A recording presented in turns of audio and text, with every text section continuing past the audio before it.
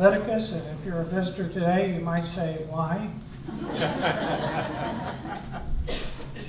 I'll also remind you that uh, it has been said Leviticus is the cleanest book in the Bible. No notes in it. No one ever teaches on it. But it was the most important book in the life of the Israelite. And why was that? Because it taught them how to worship an almighty holy God. And they had yearned for that. They had looked for that. How do we do that? And this book actually teaches them how to do that.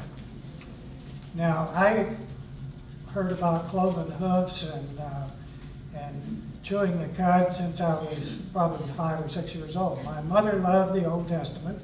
She told me all the stories out of the Old Testament.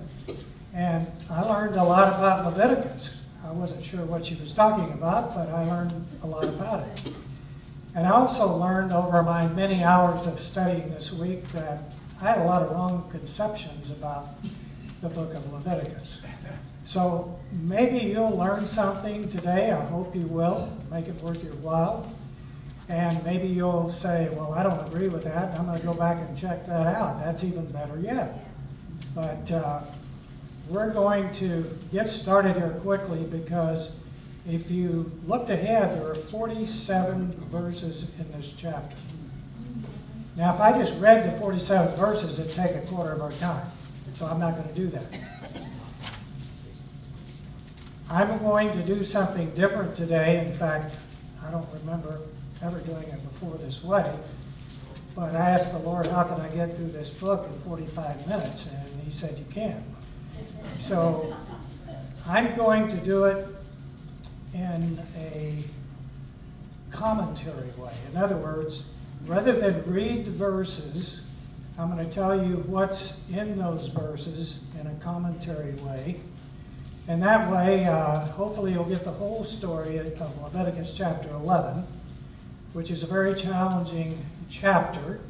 It's not repetitious like a lot of the other chapters have been because it moves about different things, but there's a whole lot there. So you pray for me as I attempt to get through this. I can tell you that most of the commentary I took from Gordon Wenham, who is the utmost authority on the book of Leviticus. He also is probably the utmost authority on all the book of the law.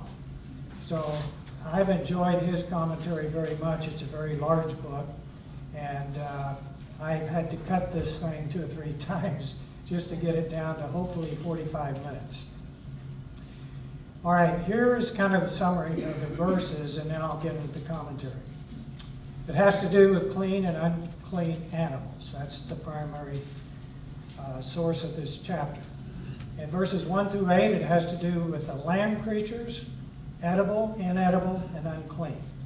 Verses 9 through 12, water creatures, edible, inedible, and detestable. Verses 13 through 23, flying creatures, inedible, detestable birds, and insects, detestable, edible, and detestable. So, chapter, verses 24 through 47 has to do with pollution by animals and its treatment or cure. Leviticus 11 is dealing with the subject of cleanness and uncleanness, specifically with the subject of clean and unclean foods. The word clean has a lot of different meanings today, depending on the context which it is used. For example, in the operating room, things must be clean. They must be very clean. And that has a very rigid, strict interpretation to be as free as possible from germs and contamination. In an electronics plant, it needs to even be cleaner. Silicon crystals are grown, and the clean room is incredibly clean. There's hardly any contamination at all. And of course, restaurants, when you and I eat, are supposed to be clean, especially the kitchens. It's not always true. I remember someone telling me a story about going into a restaurant. Uh, this guy was on a date with uh, girlfriend. And as they sat down, he noticed a cockroach crawling up behind the chair she was sitting on. And he thought, do I tell her about this or do I just keep silent and hope it goes away? Well, he kept silent and it did go away. But when he got up to the cash register, he said to the, cash, the cashier, he said, uh, you have a roach problem in this place. He said, there was a roach, a very big roach, climbing up a booth that we were sitting in. And he said, that's nothing. You should see the ones in the kitchen. Oh.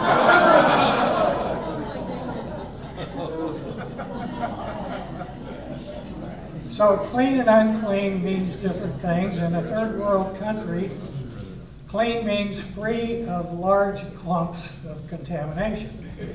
In our children's bedrooms, in our grandchildren's bedrooms, clean has a definition that means everything is thrown into a pot, somewhere in the middle of the room, the side of the room, whatever it is.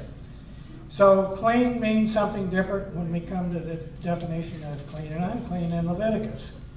And it's important for us to understand the meaning of clean and unclean is used in the Old Testament and its application in the New Testament. In fact, all scripture we should think about what did it mean to the people that it was written to originally and how does that have application to us today? And we're going to do that as we move along. For one thing, the expression clean and its counterpart unclean is one of the prominent themes of Leviticus and the author I talked about, Wenham, he says this, that unclean and its cognates occurs 132 times in the Old Testament. Over 50% of those are in Leviticus.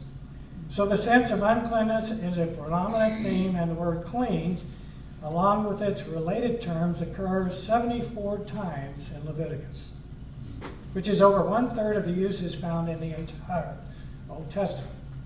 All of that must have some kind of grasp over what clean and unclean is and how the words applied to the Israelites in that day. Now, when we leave the Old Testament and come to the New Testament, we once again find the definition of clean and unclean is critical to our understanding. We find these issues discussed and debated heatedly between the scribes and the Pharisees and our Lord had to do with cleanliness and uncleanliness, particularly the area of ceremonial uncleanliness as defined by Jewish tradition, not so much as defined by Old Testament revelation. If we're going to understand how our Lord differed from the scribes and the Pharisees, if we're going to understand how Judaism went to seed on the area of clean and unclean, we must first understand the backdrop teachings of cleanness and uncleanness as it is introduced to us in this particular chapter. We must also observe that cleanness and uncleanness is related to holiness. Certainly, this is so in Leviticus, and if that is so, then you and I are committed to the concept of holiness in general and to the reality of holiness in specific to our lives. Then we must understand the role that cleanliness plays in regard to holiness. All this says to us that these chapters are important. We must understand that we're dealing with as we come to our study because clean and unclean is one of the great issues of the Bible. And we should note that clean and unclean was the great issue dividing Jews and Gentiles. Clean and unclean was the critical issue that had to be met head on and solved in Acts chapter 10 and 11 before the church could become a church. There was the dividing between the Jews and the Gentiles. When we come to, Leviticus 11, we come to to the third major section in Leviticus. Chapters 1 through 7, if you remember, had the offerings and the sacrifice the Israelites could bring. Chapters 8 through 10, which we just uh, have been through, dealt with the priesthood and the actual ordination of Aaron and his sons, which culminated, as we know, in the death of his two oldest sons, and the instructions which came to Israel to us from that. There were the offerings, the priesthood. Now, chapters 11 through 15 deal with those things which are clean and unclean. Chapter 11 begins by talking about clean and unclean food.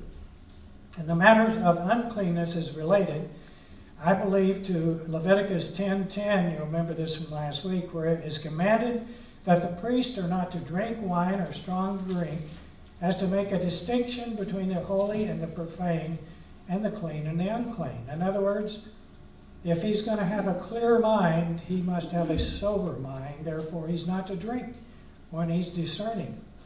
And I can tell you that discernment of the Bible is one of the most important things. And we've heard people teach and preach that we thought, wow, what discernment they have. How deep they could go into the Bible. They're telling me stuff I've read many times I've never thought about. That has to do with discernment, knowing the difference.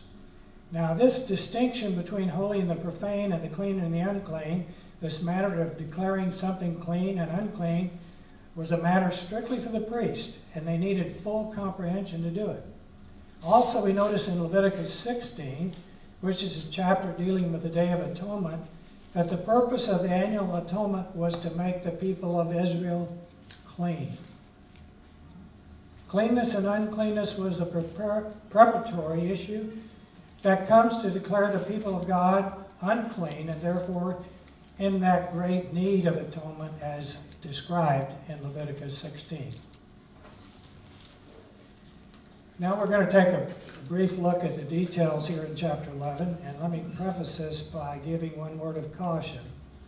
That when we come to the animals named here, some of us agonize over not being able to pronounce them correctly, let alone understand what and who they are. One of the scholars, obviously Wenham, has pointed out that likely in no more than 40% of the creatures named here can they be absolutely confident that they have the right name, let alone the right one. So therefore, all the animals is not named in giving out these instructions. They give a category of animals, and there's tons of other animals that can fit into that category. So they're not all named. So we don't need to get hung up on what this particular animal or that particular animal is. All the animals here are just examples of the many animals, but they need to comply with God, what God says is clean and unclean. And it doesn't really matter anyway today, but we need to know that. Essentially, it is easy to at least discern, discern what we are dealing with three different categories of creatures. When we come to chapter 11, we first come to the land creatures, the animals that roam about the earth, verses 1 to 8. Then we find in verses 9 through 12 the water creatures, those that live under the water and in the water. And finally, we have the flying creatures. So we have the same three basic distinctions found back in Genesis 1 where God created all life that is in the heavens, in the earth, and under the waters. Those three categories all dealt with, and creatures that are in those categories are to defined as being either clean or unclean, according to the formula that God lays down. Now, verses 24 through 47, the last half of the book, deal with the cure and the solution of the problem of uncleanness. Now, generally speaking, one of the prominent themes of those last chapters has to do with death. That is, whether it is a clean animal that is corrupted or made unclean by its death, because all dead creatures are unclean, or whether it is an unclean animal that has been perhaps killed in order to be eaten. It is in its death that the animal contaminates. If we are going to eat a creature, the first thing we generally do is kill them. The death of any creature contaminates it and makes it unclean. There is only one way in which an animal can be killed in order for it to be clean, and that is to offer it as a sacrifice.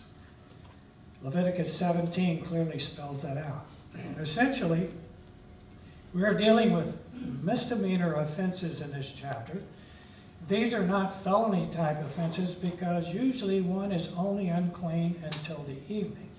And the only thing they have to do to become clean again when they're contaminated is to wash with water.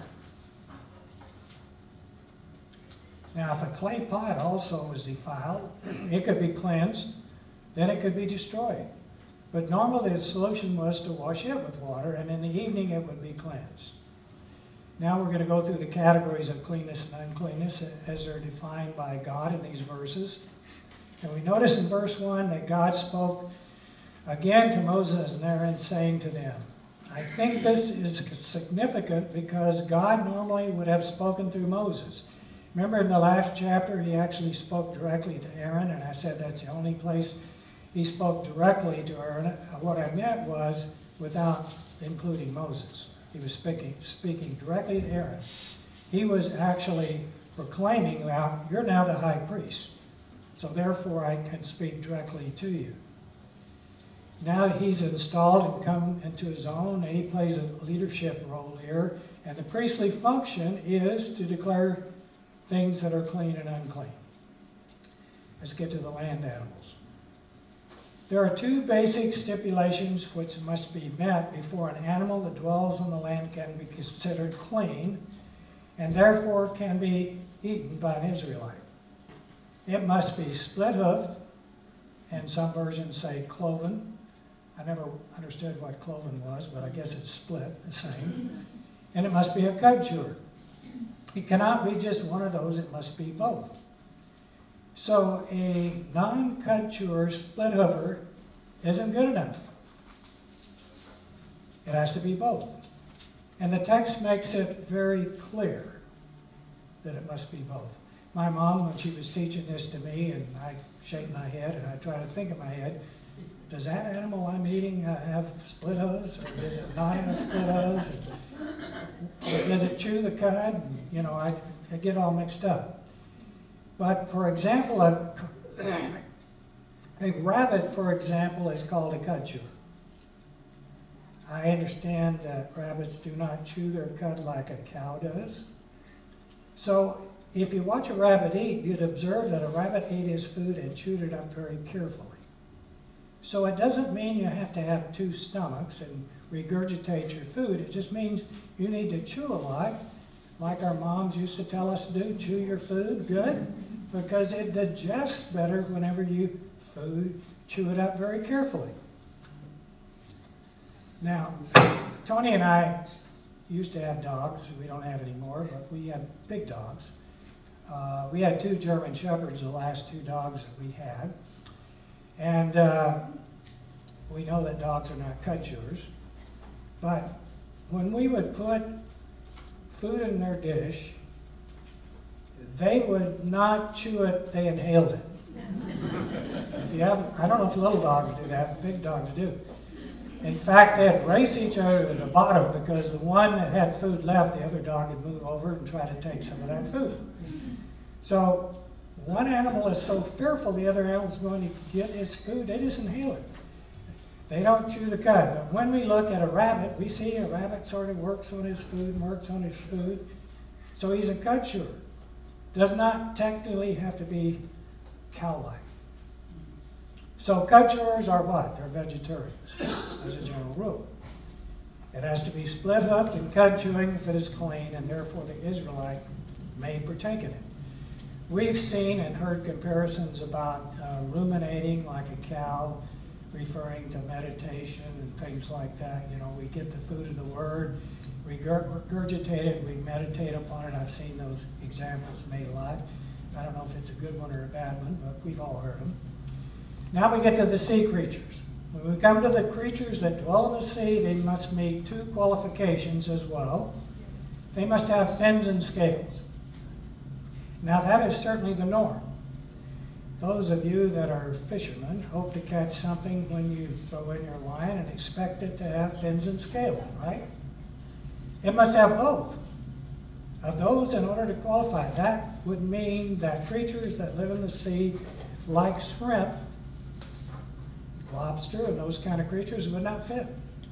Only those that have fins and scales, only those that are fishy would be clean. Third, those creatures that are in the air. It seems as though essentially no qualification, qualifications are given. That is, it doesn't have to have two wings, although I've seen birds try to fly with one and it doesn't work very well. But rather, it seems as though those creatures in the air are creatures that are non vulture like. That is, they are not sitting around waiting for something to die so they can go pick it up and eat it. Then we have flying insects that are described. Here, all flying insects are called unclean. with the exception of those that have a set of jumper legs, which would propel them so they can leap through the air and thus propel themselves in the air, jumping, flying insects are edible, to my dismay. All the rest are not. Remember John the Baptist? What did he eat? Wild locusts and honey. I always wondered not how he could eat them, but how he could catch them. I mean, those things, uh, they, they, jump way up in the air, and you go near one, they're gone. But somehow he figured that out. Fourth, there's a category of dead animals which are unclean. Essentially, any dead animal other than an animal which has been killed through the sacrificial process in the door, also in the front door of the tent of meeting are unclean. There are unclean animals that will defile, defile in their death, and there are clean animals that will defile man in their death if their death is not a sacrificial death. The carcasses that are that which can contaminate, therefore if a person eats a cow which has just been killed by a wolf, a person would be ceremonially unclean, even though they could eat the meat if it were sacrificed to God. Now we get to a very interesting one, the swarming animals. These are kind of a bit of a puzzle, but this category includes things like mice, lizards, and most all those things that I can pass up, I don't know about you. So I can easily and readily identify them. I don't know how many of you saw the movie uh, Cry Wolf. I saw it twice because I'm a wolf lover. And I enjoyed the movie immensely, except uh, when I watched this intently the scene where the fellow eats the mice. I don't know if you saw the movie, but uh, see, he studied the wolves and he can't understand what they live on during the winter when the things that normally feed on are gone. Then all of a sudden, one day, hordes of mice appear all over, and the man must decide how the wolves could live on the protein of mice. So he cooks up a batch of mouse stew. I remember when he popped that first mouthful and crunched the bones, I say to myself, oh, unclean. I agree with that, and I understand. But apparently they are called swarming because they go about in groups, and they seem to have erratic, unpredictable manner of movement. You ever tried to catch a mouse? They just move all over the place. You almost have to corner them in order to catch them. Okay, now a general definition of cleanness and uncleanness. Let's talk about cleanness and uncleanness just in terms of generalities. What are some things we can observe cleanness and uncleanness as we find in Leviticus 11? Other points we will get different kinds of uncleanness, but let me touch on a few characteristics of cleanness and uncleanness. First of all, in chapter 11, Cleanness and uncleanness has to do principally with food. It deals secondarily with cleanness and uncleanness as a result of contact with a dead animal. Even a clean animal, a bull or a sheep, could not be eaten if it were not killed in a sacrificially prescribed way. So it has to do with food or that which is touched when dead. If you remember when we were going through the sacrificial system, these animals were killed, and many of these animals, they brought their families into the outer part of the temple, and they enjoyed eating all that food because it was legal, because it was sacrifice food. Second, cleanness and uncleanness is a matter of category rather than a condition. When we talk about being clean, we generally speak of the condition of someone is in. If our children are unclean, they need to have their hands washed, but they're still in the category of a child.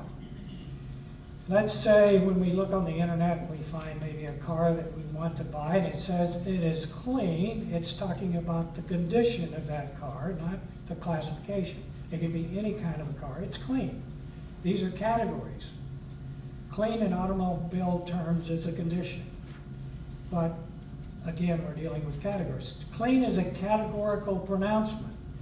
It is all those land animals that chew the cud, have split hooves, whether their hooves have been washed or not, the category clean or the category is unclean, depending upon the classification of that particular creature. Third, cleanness is that which is defined by God and declared by the priest. Clean or unclean is clean and unclean by the definition, and the definition for the clean and unclean creatures are given to us here. It is declared by the priest, which will become more and more important as we get into the next few chapters, which has to do with skin disorders. It is the priest who must say it's clean or unclean. Fourth, it is the state of access to God. The practical outworking of being declared unclean means that we must stay back. For example, a priest in Leviticus 22 could not go about his priestly duties in a state of uncleanness. He must wait until he is ceremonially clean. So we may not approach God in his normal worship in an unclean state. It restricts one's fellowship with God. And it restricts one's fellowship with men. That is the natural consequence of the declaration of uncleanness. Let me give you an example. If a preacher or a teacher comes into the pulpit or before the people and starts teaching without having been prayed up and having been put humble before his creator, he's unclean. If we come to the Lord's table without confessing our sins before we come to the table, then we are unclean and we should not partake of the table. So cleanness is somehow related to holiness. We say that cleanliness is next to godliness. You ever heard that before? Mm-hmm. Well, it's not in the Bible, but that's what we say. It's not a bad example. It's not really not spiritual. But in Leviticus, cleanliness is next to holiness. When we get down to the basic reason why an Israelite is to make these distinctions, between clean and unclean, it is because God says, You are to be holy, for I am holy. For the first time in history, for the first time in the Old Testament, men and women are to observe these distinctions because God has made them. Therefore, cleanliness is related to God's holiness. And Israel is to observe it because of the holiness of God. Twice it's repeated in this chapter. Therefore, there's a direct relationship between what is clean and what is holy in Scripture. What is clean, unclean, can never be holy. Some things that are clean can be concentrated, consecrated and set apart as holy, but nothing which is holy is unclean. Only that which is clean can become holy. I know that's a little bit confusing, but it's true. There's also the intensification of this process that goes on. When we read through chapter 11, we start out with a sense that these are the creatures that are going about on the land, and some of them are clean, some are unclean. The clean ones they could eat, and the unclean ones were to avoid. But that by the time we get to the category of those that are in the water, it talks about them being detestable or abhorrent. And their carcasses you shall detest. They're not just unclean, you don't eat them, you need to detest them. Their ascension once emotions must come into agreement with God's emotions. One of the stories I read years ago called The Dog Eater. This was when I was a little guy. And this poor old man was a trapper, and he was stuck in the middle of winter in a cabin with no food. He and his dog were together, and as the man neared the condition of starvation, he began to have these terrible dreams that he did not want to dream, but they kept coming up. It was a dream of having dog tail soup. Finally, the day came when the man crept up behind the dog, lopped off his tail, and boiled it for soup. A few days later, the dog came back. I'm sure he left for quite a while, with a stump of a tail, and the man shared his soup with the dog, who seemed to think it was all right to eat it. I can't think of anything more detestable than to eat dog tail soup. there is, in a sense, which the Israelite is called to detest that which is unclean. It is not enough for the Israelite to say, I can't eat this and I can't eat that. It's more a matter of saying that I loathe these things. You know, when Eve looked at the forbidden fruit, it looked good to eat. She looked at that as something desirable, not just to look at, but something desirable to eat. God knows if we look upon something as desirable, sooner or later we're going to eat it. It's only when we look at that as something terribly undesirable that we're not going to eat it. Oh, he said this, and I know it's not a very good thing to say, but if you want to lose weight, don't go on a diet, eat bad food. You're not going to eat much of it.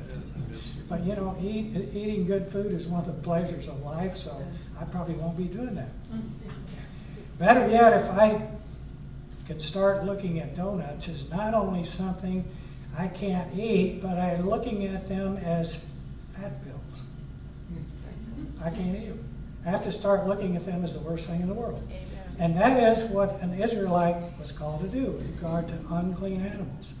It was to be detestable to them, so that they didn't have the indication or inclination of wanting to eat them.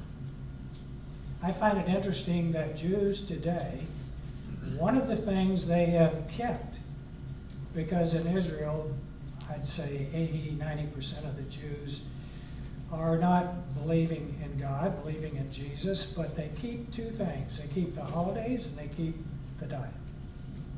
It's interesting, isn't it? Even though they're not believing in God today.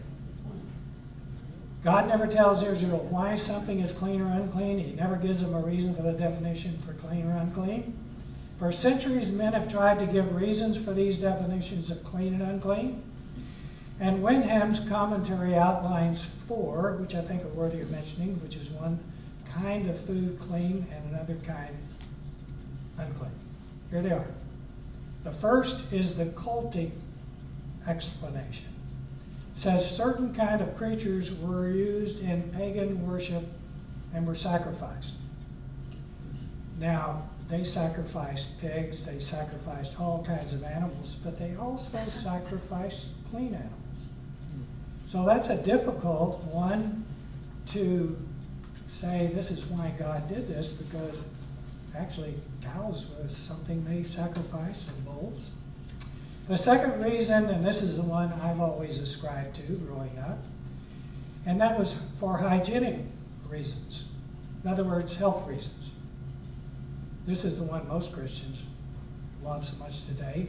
The basic theory is found in a number of books, one of them, which is none of these diseases. The basic theory is that God prohibited the eating of certain animals because it was unhealthy to eat those in those days. They didn't have refrigerators and microwaves, like all those things that kill germs.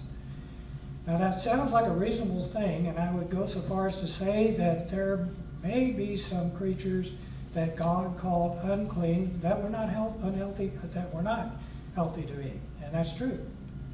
But that distinction doesn't hold water because you get to the New Testament and Lord declared all things to be clean. There were no refrigerators, there were no microwaves. It was the same kind of era. So that one I'm kind of moving away from now, even though I've lived in that one. I even saw one commentary, and this was interesting, how this commentary guy he laid out the fact that Jews live longer than Gentiles in all generations, and they've been healthier than Gentiles in all generations. But he gave no collaboration evidence to it. So I looked for it, and I couldn't find it. So I kind of threw that one out. The third view is, Wenham suggests, is the symbolic interpretation. In other words, in those things man eats or does not eat, he is an imitator of God. What do I mean by that? That is, there are only certain things which God allows to be offered up as a burnt offering to him. Interestingly, the sacrificial terminology is used, but is offered up as food to God. It actually says that. Now, obviously, God doesn't eat food, but is the symbolism employed? So if God is selective about what he eats, that is, what is sacrificed to him, the Israelites ought to be choosy about what they eat. It seems to be partly true, if not universally true, that many of the creatures that are unclean are those which may live on meat and may therefore be blood shedders. For instance, in the category of those animals which prowl on the face of the earth. The cat family is an illustration that does not have split hoofs, it has paws. Neither does those have does it have those kind of teeth like a cow that are for chewing up like grass. They have claws. They have sharp teeth because they kill other animals. They shed blood in order to eat. Now, we were cat people at one time too. In fact, we had dogs and cats at the same time. And they kind of got along, you know, when they grow up together, they do. But we had cats in places that didn't have, you know, all these animals that kill them today. So we let our cats go outside. And sometimes you'd hear this muffled kind of meow outside the door. You'd open up the door and that cat would have a big mouse or a big bird or something in his mouth. And he was like, let me in. I want to eat this in a clean place. well, they finally got used to us shooing them away when they had that bird or rat in their mouth. And the next time, when I opened the door, they come running in the door before I could catch them. It would seem that often, though not always, the animals that are unclean are bloodshedders are those that eat off of dead prey as vultures and some other sort of animal. So there is some similarity between what Israelites are to eat. They are not to eat animals that of themselves sacrifice of life or come into contact with other animals.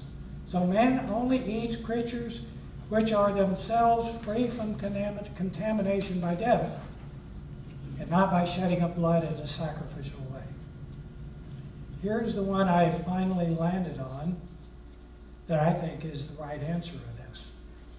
Fourth answer is called the arbitrary definition. Why did God call the pig unclean and the cow clean? God never explains this by looking at all the commentaries I did. We find that nobody has figured it out either. It may be that there isn't any reason at all except that God said clean and unclean. Think about God's choice of Israel as a nation. Is there some reason why God chose Israel as opposed to the Canaanites?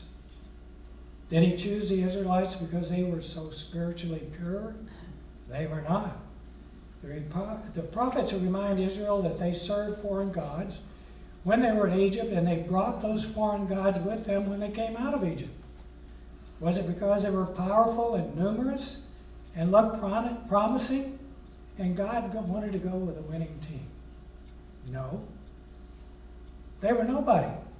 So why did God choose Israel versus some other nation?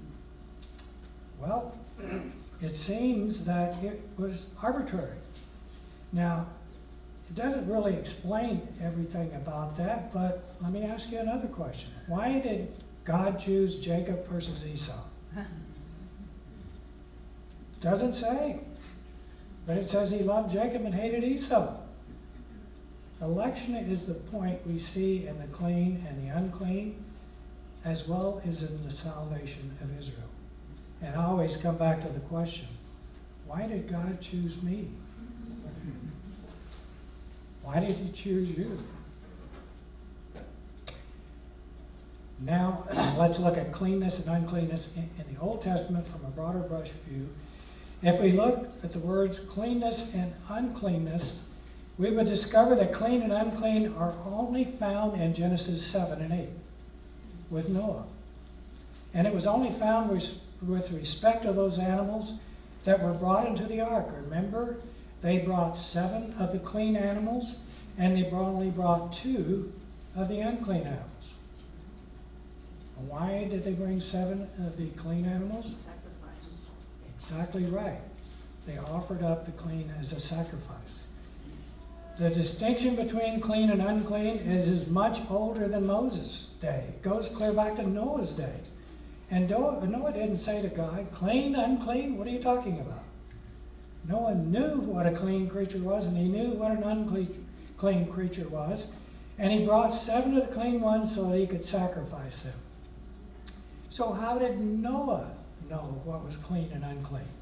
Well, let's go all the way back to Adam and Eve. Remember when Adam and Eve sinned and they went out of fellowship with God? He couldn't come and walk with them anymore. What did he do? He killed an animal, he sacrificed an animal, and he clothed them with the skins. So therefore, I'm sure he sat down with Adam and Eve and says, Here are the animals you can eat, and here are the animals you cannot eat. And they handed it down to the next generation, till it got to Noah. So Noah knew all about what was clean and unclean. By the way, so did Cain and Abel. Noah already understood that anything that was to, to be offered to God had to be something that was clean. However, it was not until Leviticus 4 that the clean and unclean terminology reappears after Genesis 7 and 8. But now it's given a lot more substance. Clean and unclean are brought to bear on Israel's worship of God and on Israel's eating habits. So there's a history of clean and unclean that goes back further even beyond Moses. Cures for uncleanness is spelled out in Leviticus. And through the Old Testament in particular, what was interesting is that we move toward the end of the New Testament, our Old Testament. In that period of the prophets, we discover the prophets begin to talk about cleanliness and uncleanness as something internal rather than merely external. Before, something unclean was something out there, or it was out here if it was a, something that grew on the skin. It was not something apart. Psalms 19:19 says, "The fear of the Lord is clean." In Psalms 51:10, David said, "Create in me a clean heart, O God." Now, cleanness is something more internal than external. Ultimately, God says that He's going to make the Israelites clean, something that never was possible in the Old Testament under their legal system. He was going to make them clean, clean, but he was going to also give them a new covenant and a coming Messiah. Ezekiel 36, 24 through 27 spells this out. Says, For I will take you from the nations, gather you from all the lands, and bring you into your own land. I will sprinkle clean water on you, and you will be clean. I will cleanse you from all your filthiness and from all your idols. Moreover, I will give you a new heart and put a new heart within you, and I will remove the heart of stone from your flesh and give you a heart of flesh. And I will put my spirit within you and cause you to walk in my statutes, and you will be careful to observe my ordinances. Even in Old Testament times, the prophets were pointing forward and saying ultimate cleanness can only come by the work of God Himself, can only come when the internal part of man is transformed, when he is cleansed, when he has a heart of flesh rather than a heart of stone.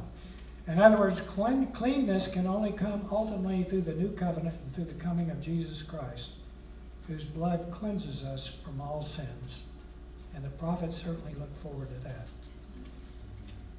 When we come to the New Testament, we discover immediately that our Lord begins to turn, uh, talk in terms of clean and unclean and particularly as the scribes and Pharisees are disputing with him in Mark 7. For example, they debate about whether Jesus and his disciples can come in from outside and begin to eat dinner, and they've not ceremonially washed their hands. This has nothing to do with their hands being dirty. They were supposed to ceremonially wash their hands. And by the way, this is something the Jews added to the interpretation and the meaning of the Old Testament. It's not there. They had more emphasis on cleanliness that was their tradition by Scripture and not according to the Scripture.